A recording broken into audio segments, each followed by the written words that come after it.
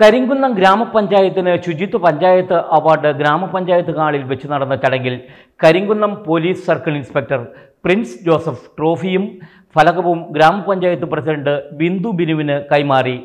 Factory outlet വിലക്കുറവിന്റെ പീടിക കാക്സ് എതിർവശം bypass road Thodupuzha outlet inauguration special offer ആയിരം രൂപ വിലയുള്ള പ്രഷർ കുക്കർ വെറും നൂറ്റി തൊണ്ണൂറ്റി രൂപയ്ക്ക്.